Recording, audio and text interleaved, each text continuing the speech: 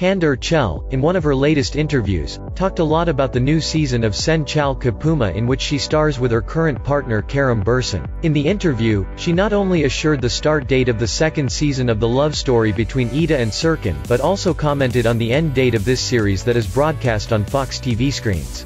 According to the actress, this story will hit the screens with only 11 more episodes, as she assured that the series will end in August when it reaches episode 50. She in the interview assured that they actually have a very nice final block. And although they have already completed the first season, Eda and Serkan deserve a good ending. So there is a good story that they will tell in the last 11 episodes, with a very different ending, because the story will take an unexpected turn, being for Hande the first time that she will record something like this.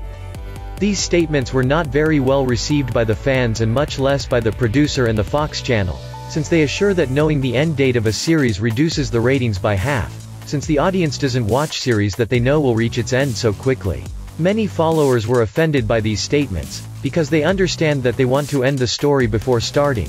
Also they cannot predict how the success of this second season will be. According to rumors, what happens is that both Hande and Kerem plan to finish their work on the series soon, and once the project is finished, they will go on the vacation they deserve.